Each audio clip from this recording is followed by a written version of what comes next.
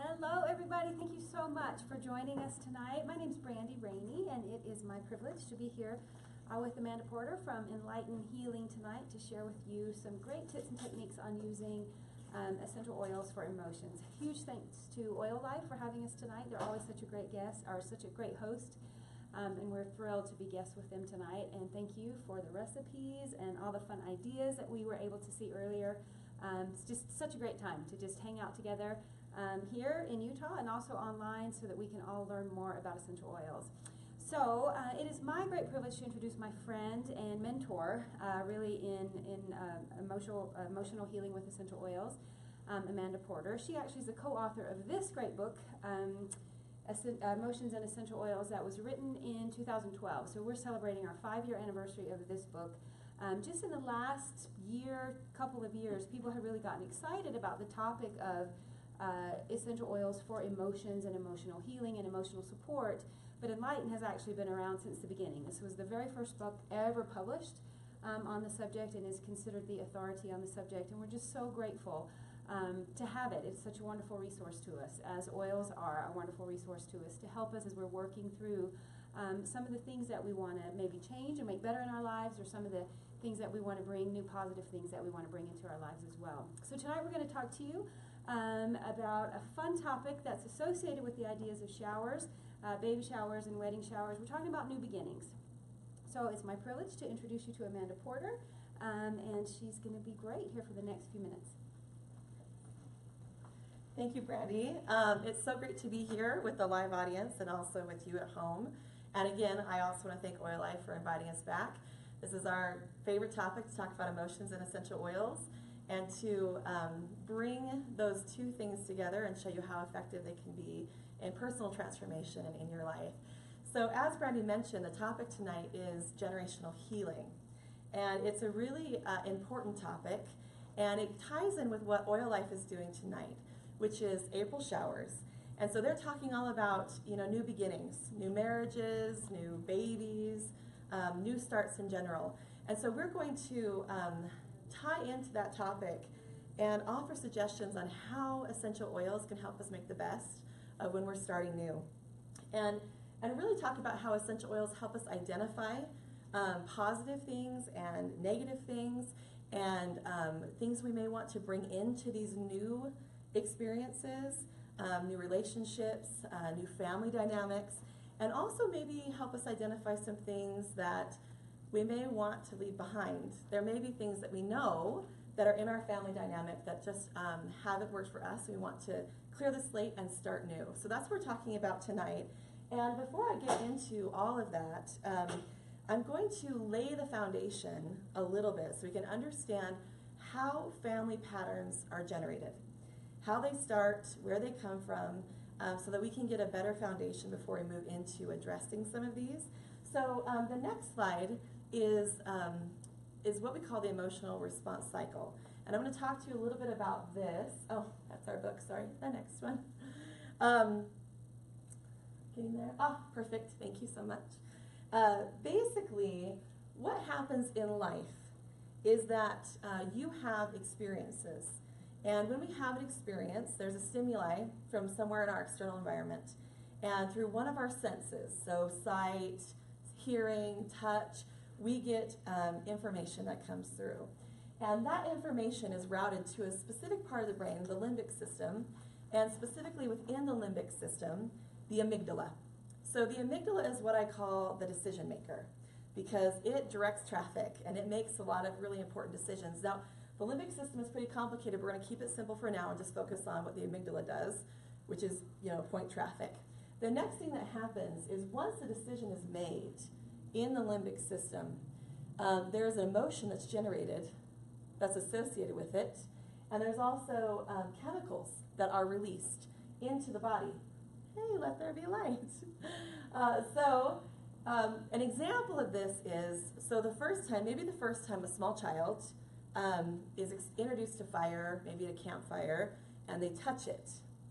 And they don't know that it's going to be hot, and they don't know it's going to be painful. So they experience the sensation through their sense of touch.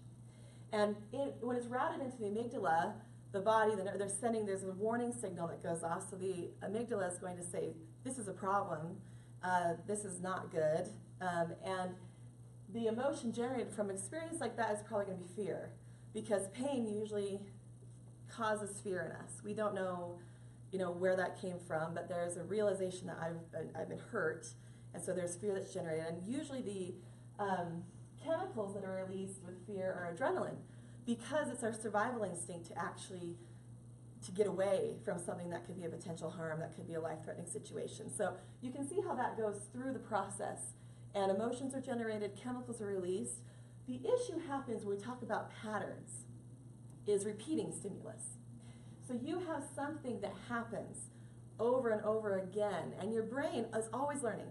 Such so smart. Neural pathways being created. They're working with the hippocampus, memories, bringing all of your life experiences together to help you to help you learn and to know more the next time. The interesting thing that happens is, let's say that two months later, this same child who was burned on the fire sees a pot um, on the stove kind of go up. They can have, without touching the fire, the fear response. The same decision, the amygdala recognizes that. That's close enough to what happened before. I'm going to send the same signal. The fear is going to be generated. The chemicals are going to follow. And then when you get that stimulus, like I said, happening over and over again, uh, you get a, a, neural pathway, you get this, this superhighway where your brain knows automatically what to do without ever involving the prefrontal cortex, without ever involving your decision making. So um, the problem comes in is when you get something negative repeated in your life enough times that you then have an automatic response that you don't feel in control of. So suddenly you have a pattern, you have a habit, and um, of emotionally reacting maybe in ways that you don't like. This is an appropriate reaction to fire, but there could be other things that you've developed um, fear of other people, distrust, anger, certain things that when you get any kind of stimulus that brings it to your attention, you go right to that response, even if you would prefer that you didn't. So, um, I want to bring this into a real life pattern, to bring it into the generational family pattern topic that we were talking about tonight, to give you an understanding of how this plays out in families. So we know how it plays out individually, but how it plays out in families. So I'm going to talk about my great grandfather. His name is George, was George. And um, he was really, really honest in his business dealings. He was really fair. And he got this nickname called, they called him Honest George because they always knew that whenever he was a part of something, that there, it was going to be fair and it was going to be honest, and they could trust him. So he, his, he had this ethic and this pattern that he had developed in his life of um, being a strong, hardworking person and, and really believing in doing your civic duty. So doing right by people and making sure that you're giving back and that you're responsible in your community. So this was a really strong ethic, a really strong pattern, so much so that it passed on to my grandfather. So my grandfather took this ethic, he became a police officer, he wanted to give back to his community, and he um, also volunteered in community service organizations and those kinds of things. And that then passed on to my mom's generation. And all of them uh, have this civic duty thing. And they, they really care about giving back. They volunteer. Um, I have an uncle who does search and rescue. My mom has always done animal rescue and all kinds of things. So this, this generational pattern is passed down so that I have this method, this, this message from the pattern in my family that you work hard, you're responsible, and that you need to give back to your community. So that is a really positive pattern that's passed down from my grandfather. All we can see it in all these generations. But there's another side. We get positive from family, and we get negative from family. And with my great grandfather, um, he had a pretty troubled home life. And his father died when he was three, and his mother was so overwhelmed by that experience. She had three children. He was the youngest, he was the only boy, that she ended up really struggling. And there was a lot of abuse that happened in his life, and and uh, it went so far actually that she tried to have the state take him away. She just wanted to get rid of him. They wouldn't take him because he wasn't a delinquent and he hadn't done anything wrong. They just said, you can't just give away your kid because you don't want him anymore. So he's pretty scarred. We understand that my great grandpa is pretty scarred from that experience. And what he did with that, he didn't have um, coping skills that were necessarily productive. And he ended up in his own family, when he got a family, being fairly verbally degrading and a pretty tough guy to live with. So, in my grandfather's generation, he was his son, and he was the object of a lot of that. And um, it was pretty hard on him, and he ended up being pretty insecure and distrusting. That pattern starts coming down. He also struggled with being verbally degrading. That pass, that pattern passed down into my mom's generation, and so my grandpa also became an alcoholic, and he was able to overcome his alcoholism. But my mother has all the symptoms of being an adult child and an alcoholic. And um, she's done a great job, and she's really plowed ahead. But she has all of the, you know, hypervigilance, questioning her worth, fear of disapproval, fear of conflict, all of that. And she's my mom. And so, you know, we've learned this sort of overdeveloped sense of responsibility, hypersensitivity, hypervigilance, because there could be a threat in your environment that's always sort of unknown. And that's a negative pattern. And you can see how people's choices in the family line affected all these generations that followed. And um, the thing about it is that people, people are both positive and negative. People have both of these things. And in every family, the patterns of coping or not coping are passed down. So we end up inheriting a lot of styles of doing things, emotional patterns, um, coping skills, and negative emotions that we don't want, but we also in- inherit positive things that we do want to perpetuate, that we do want to carry on, um, depending on what you're looking at. So now I want to involve you. Uh, It's your turn. I want to bring you into this to help you identify and work with some of your generational patterns that might be good. Uh, you might want to enhance some things that were good in your family line, or they might be bad. There might be things that you want to work on and uh, redirect. So um, I'm going to start this because whenever we talk about generational issues, we have to talk about white fir. So I have a bottle of white fir because I want to pass it around. Um, white fir is the oil of generational healing. So let me start this here. We just have, hopefully you have your white fir at home and you can sniff it, but we'll pass it around here.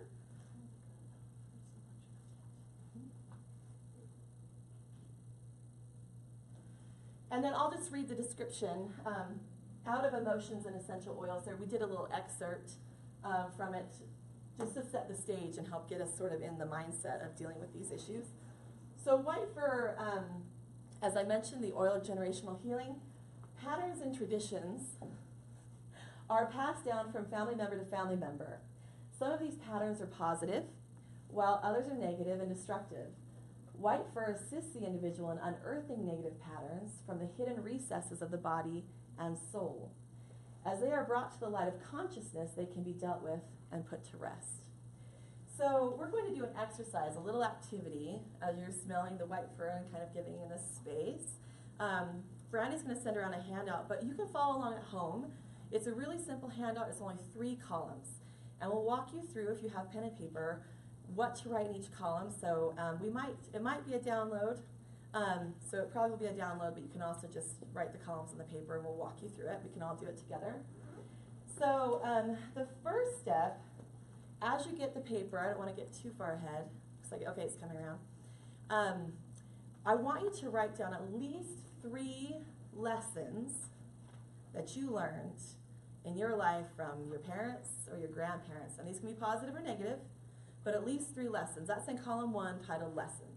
So just think about your family patterns, think about the things that you were told or the things that you observed, and write down the lessons um, that you um, that you inherited. So take a minute and do that, if you will. Question? Can you give us an example of what a le- what a lesson might be? Oh, I can. Do you want to go to the next slide? I can give that. Um, oh, good, thank you. So, um, for example, uh, we have this could be a lesson that you got uh, from mom or dad or grandpa, whoever, that says, you heard these kinds of things and you understood this from your life experience with them. So we accept our lot in life. We don't accomplish great things. We live a simple, moderate lifestyle and don't expect help or handouts from others. That could be a lesson. You, you got this lesson that says, this is what we do. This is our lot. We accept it. We move on. Um, work ethic. It could be lots of things. There's so many uh, distrust. You know, we, we never trust anybody in authority. Uh, don't, you know, there's no free lunch and there's no this. And you think about your family and kind of the things that are passed down. And, uh, oh, I see some writing. Oh, stop, stop talking if I'm interrupting you guys. So, and that's in column one. We'll move on to the second step in just a minute. But for right now, we're still in column one, just thinking about the things, patterns that you may have seen that have been passed down to you. Any other questions about that? Just a reminder that some can be positive also. Yes, thank you, Brandy. For the arts love of community, that kind of. Yes.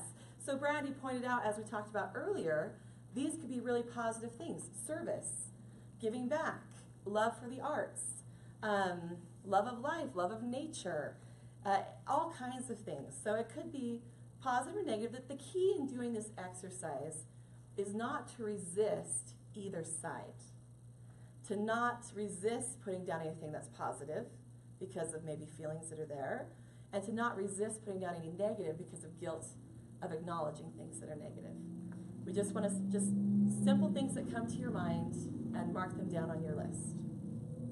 I'll give you just a minute.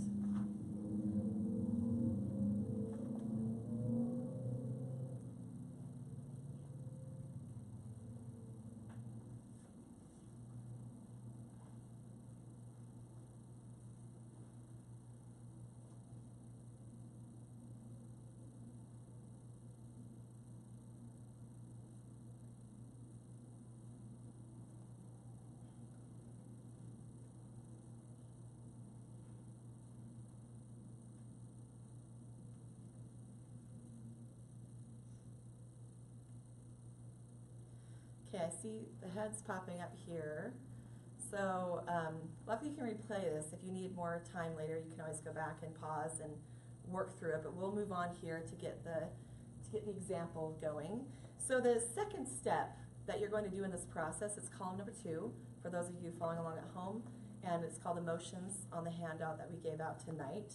Is you're going to identify the emotions that you feel, identify with the lessons, and again, these could be positive, these could be negative. In our example, this is more of a negative lesson that we're going to use to help give you some ideas. But the emotions that may have come from this sort of message and this lesson uh, could be fear, trapped. I mean, if you have to accept your lot in life, you could get feeling pretty trapped that you have no uh, opportunity to move. Um, lack of vision, scarcity, it's huge, especially for people closer to parents who might have experienced the depression uh, grandparents, there's a lot of this a lot of times in family generations.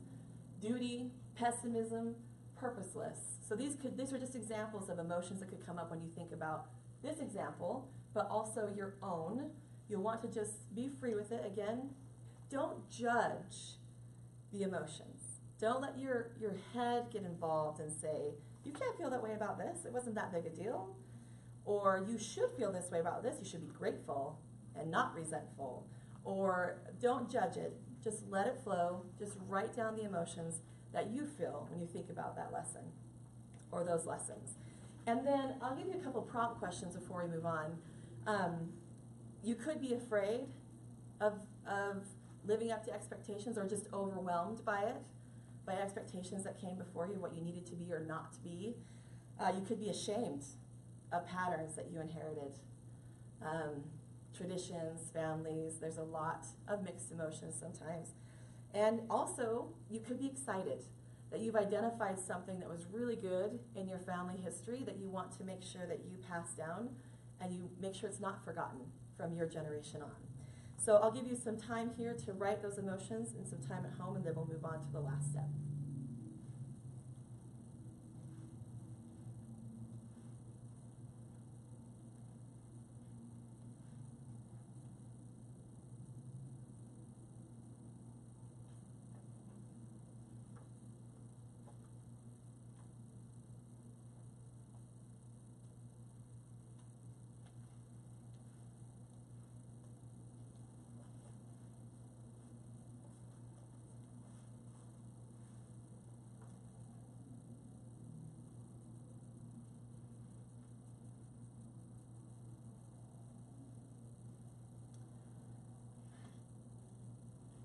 Okay, so heads are popping up here. Again, you can always pause and come back to this. Don't want to rush you, but we'll move through so you can get the concept.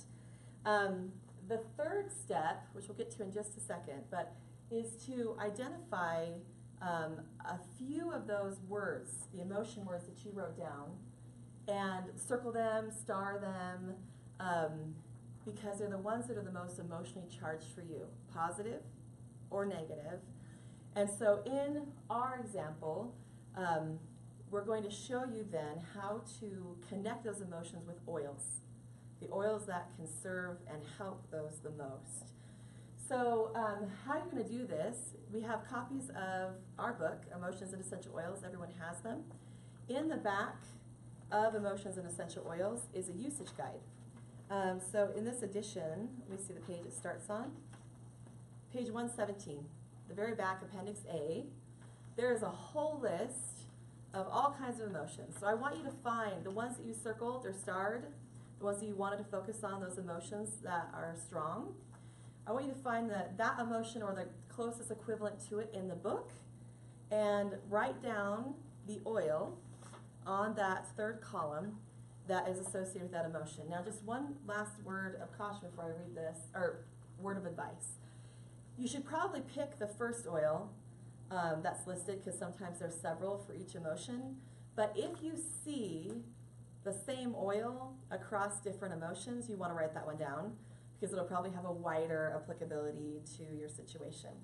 So um, here to follow up through the example that we gave on the slide, um, we found pessimistic was one of the words that was in the emotions list, and we found uplifting blend for that.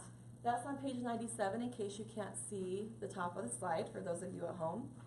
Uh, for obligation, obligation to the family pattern was petitgrain, and that's on page 55. And scarcity, which we talked about, uh, the oil for that, which addresses that best, is wild orange. That's on page 66. Uh, zest for life, we put lime, page 47.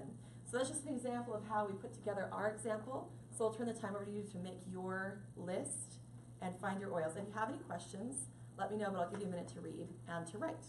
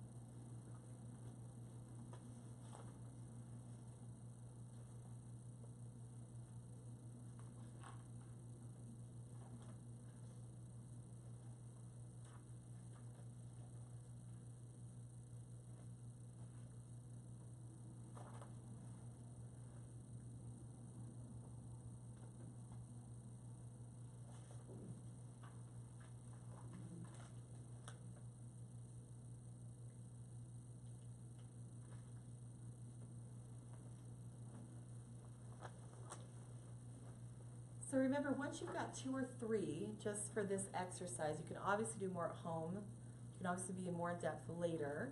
Um, go ahead and turn to the oil descriptions, um, at least one, in the book, and read it.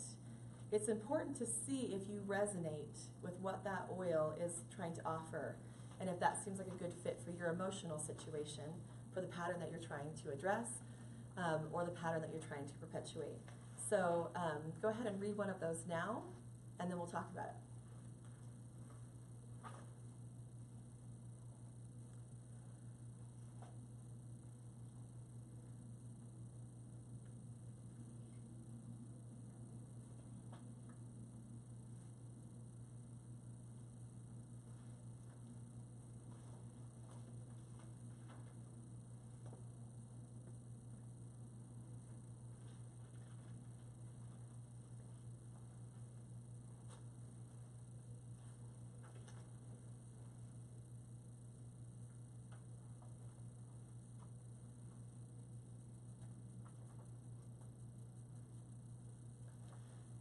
I'm going to give you an example of um, what I might have found in the book. So let's say that I had scarcity, um, found it in the usage guide, and um, saw wild orange. So I'm going to read an excerpt from this so you can see how this might stand out to me if I was reading it. So in wild orange, which is the oil of abundance, um, it says in Emotions and Essential Oils, at its core, wild orange teaches the true meaning of abundance. It encourages individuals to let go of scarcity mindedness with all of its manifestations, uh, including fear, nervousness, inflexibility, workaholism, lack of humor, and the belief that there is not enough. Wild orange reminds the soul of the limitless supply found in nature. And this oil teaches individuals to give without thought of compensation and encourages them to let go of their need to hoard, which is the epitome of scarcity. All of a sudden, I might have had images coming up that would relate to scarcity. Um, and so you want to write that down and see if that resonates with you. That's the most important step. Is when find the oil, even if it's not the first one, move to the second emotion. Go through a few, obviously at home, and find something that resonates with you so you know you're partnering with an oil that's going to help you personally with the emotion and the patterns that you want to address. So, um, what I would like to do, and for those of you at home, feel free, uh, we may have someone monitoring. If you have any questions or need any help with this, let me know. We'll try to answer them if we can. Um, but for those of you here, I wanted to get some feedback from you on this experience. Uh, anything you learned, anything you thought, anything you're willing to share, any comments or questions. So now is the time. It's a tough subject. You have to be a little bit brave, but please. Okay, so in one of the lessons, even though these are positive lessons, ones that you made me look, you know, I, I know that the emotion that I feel for is kind of like a fearness. Like I feel like it's a little, sometimes too much to ask. You know, so I have that fear of disappointment. Mm-hmm. So the first oil for fear is juniper.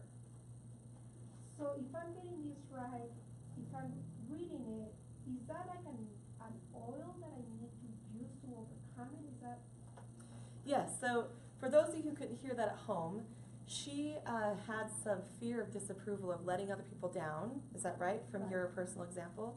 And so she looked up fear because it was the emotion she could identify with and found juniper. And she wanted to know if juniper is going to help her overcome this particular emotion and pattern. And the answer is yes, if you feel like it resonates with you. So juniper is a lot about fear. And so if it's the fear that you're feeling, uh, juniper can help you work through the fear. You could also use another calming oil that makes you feel safe and comforted um, to bring some of that positive strength into your life. So, oils can help you release the negative, so help you let go of that pattern of deeply held fear. It can also help you if you choose, say, a comforting or calming oil or strengthening, um, courage, those kinds of things that'll help bring that into your life and help you move through it. Um, but it's also important to look beneath the fear because we're complicated sometimes and we have layers of emotions. So we want to drill down to see what's underneath the fear. And in your case, there's fear of disappointment, um, but there, without getting too personal into your story, there's probably there's probably more to that, and you could sp- spend some time thinking about why are you afraid? What is it you think that you lack? What is the expectation that was given to you that you're not sure if you can measure up to? And those kinds of questions can help us dig a little bit deeper and find more um, maybe hidden emotions or more complex emotions or just more emotions. Things can open up doors. You can write that down and also get more oil information um, from that. So thank you for sharing. That's a really great example and a good learning lesson for everyone. So, is there anyone else who wants to share? Okay, but I think that we'll just move on for the sake of time. So, um, just remember, as you're dealing with generational issues, that you know we're all human. We have light and dark. We have good and bad. We have positive and negative, and so were the people who came before us. They, um, for better or worse, it depends. Um, they passed down the best they could, and they, um, we are affected by that. And there's more than one way we can look at that and address those kind of situations. But do remember that essential oils, along with other forms of emotional healing, depending on what kinds of issues we're talking about, can help us to overcome these things, and they can help us um, learn the lessons and apply the healing that we need to, and encourage us on our path. So, um, like, well, in my personal example, um, I now have the opportunity. So, as a product of these generations and some of these patterns, uh, to heal and release the patterns that don't serve me and don't serve my family. And I also have the opportunity to um, embrace and to cherish the things that do with a grateful heart. The things that were given to me that really serve me and my family, things that I can take with me. So, um, we wanted to give you a few more tools in your tool bag because even though you'll be finding emotions that are personal to you, maybe about that are specific to situations, um, these are some great oils, all around oils that we find are usually necessary in general generational healing work. So, um, if there is father issues or kind of your paternal line, if you're finding that things are unresolved there, always have frankincense. Frankincense is your ally here, and frankincense is on page 37 if you want to read that for those of you at home in Emotions and Essential Oils. If you have things that are associated with your mother um, or maternal line that may need to be addressed, myrrh. Uh, myrrh is on page 51. It's really important to have some myrrh. If there's a situation, as we often see working with my clients and things in the past, I saw a lot of estrangement in family situations because we just don't know quite how to cope with all those strong feelings. We recommend Douglas fir. Douglas fir is great at being able to see the negative and maybe create some boundaries, but also have some more respect. And, and it just can bring people together in a more positive way. Uh, it really encourages that. That's on page 34. And lastly, forgiveness, because what family doesn't need forgiveness? Uh, we all do. And so, thyme, um, I want to pass around just a couple of oils. Thyme is the oil of forgiveness, it's amazing. Um, page 63 in the book. And also, uh, doTERRA has the renewing blend or forgive. And these things you can partner with will really help you. So, I'll have these passed around really quick.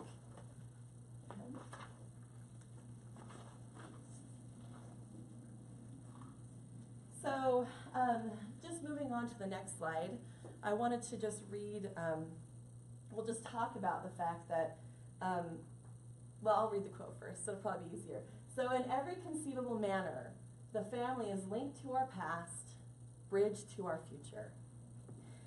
So, we want to take what we learned earlier about the emotional response cycle and how patterns are created, knowing that essential oils work in the very patterns that we talked about. They, the olfactory system routes into the amygdala, creates new information, and is an, is an agent for change. You can interrupt negative patterns. You can also strengthen and reinforce positive patterns in your life with essential oils, and the same cycle. So remember that that when you're working on these things, that change is possible, um, and that you can you can strengthen the things that are good and let go of the things that aren't. It may take time, but it is worth it. And remember that there's hope. There's hope for us to change and to create a different future or to enhance the good things into the new beginnings and the new life that we are that we are encountering. And um, lastly, I just want to say that it's in, it's important to be intentional. When you have a new beginning in life, you're starting a new family dynamic, you're getting married, you're having children, or you just feel like now is the time to begin again and look at the things that have happened and look at where you want to go, you can be intentional and actually create positive change and positive uh, growth in your life. And so um, I appreciate you taking this time to go over this topic with me. I'm going to wrap up now, and um, if there's any questions after, feel free. But I'll let Brandy come up and share just a little bit more. So thank you again. Huge thank you to Amanda. Um, I should have done a better job when I introduced her by telling you about who she is and who her passion is. But I think it comes through when she presents. Amanda's actually um, a trained facilitator in emotional healing, and so you see that uh, she loves uh, essential oils as a tool to help us with emotional heal- healing, but her passion really is in helping people. She is an exceptional teacher and gets uh, where we're coming from. Often we sit down to have marketing meetings, and she winds up telling me how I need to, how I can work on being better in my life, and, and recommends three or four oils as she leaves. And so she's a blessing. Thank you. Um, I just appreciate that. Just wanted to, to make sure that I mentioned that as well. Um, uh, I was following and monitoring some of your comments. A lot of questions about where the book is available. The book is called Emotions and Essential Oils, and you can get it um, through Oil Life. It's available right there. If you look under, um, I noticed on the URL it was collections and then books and media. Um, and so then you can find it, Emotions and Essential Oils. It's available there. And then a lot of people said that you weren't able to see the slides um, because we've got this white text on the green. We're happy to send you um, all of the slides. We have them in a PDF. It's already ready to go. If you guys want to email us, um, customer service at enlighten.com. I'm sorry, customer service at enlightenhealing.com. Um, you can see it here at the bottom. Well, you probably can't see it on that slide, can you?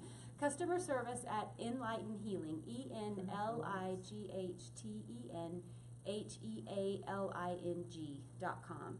Um, and just say, hey, can you send me the slides from Amanda's presentation? We'll make sure you get those. And then I also want to tell you while you're emailing us, you can also request um, your very own free copy of what we call our emotional aromatherapy digital support subscription. And actually, what that is, it's a monthly course that we put together every single month um, that teaches different topics um, associated with uh, emotional healing and things that we're going through. So, what Amanda shared tonight is actually from our upcoming May edition um, of our digital subscription, where we're talking about generational healing and the exact exercises that we went through tonight. There's some additional information, obviously, that's in there as well. Um, but what you get from us is a PDF document that goes through the training and the setup of, you know, what is a generational pattern and, and what does that mean? And some are positive and some are negative. We give you um, the words to say and sort of process through the process of passing out uh, the uh, white fir and helping people to um, go through and actually make a list of their positive and negative patterns so that they can figure out which things they want to work with. And then we give some recommendations about oils. Um, so that comes to you in a PDF document. And then we also give you all of the marketing materials that you would need if you wanted to teach this class. So you saw Amanda do it tonight, but if you're interested in doing this to help you further your doTERRA business, you could do the very same thing that she did. We provide you the PDF document with all of the training. We give you all of the marketing materials um, so that you can share it out on your social media. You can send it out via email. And then we also give you the slides so that if you wanted to do a live webinar, it's not as scary as it, as it looks. Um, if you wanted to do a live webinar, you'd have um, those slides as well. And so that's called our um, digital support subscription.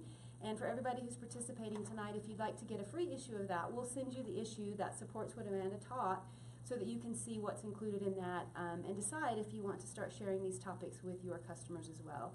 Um, you know, at Enlighten, really our mission is to help people be happier and live more fulfilled lives, to overcome those obstacles that are holding us back, and really just to help us as people become the very best people and citizens and family members that we possibly can. So we're excited to share this with you as well. If you'd like to get that, feel free to just send us an email, same address, customer service at enlightenhealing.com. If you have any other questions at all for us or for Amanda, we'll be happy to help you address those as well. Thank you guys so much for your time. Thank you for attending live. Thank you for sharing. Oh, um, we appreciate you all. Thank you, Oil Life. We love you.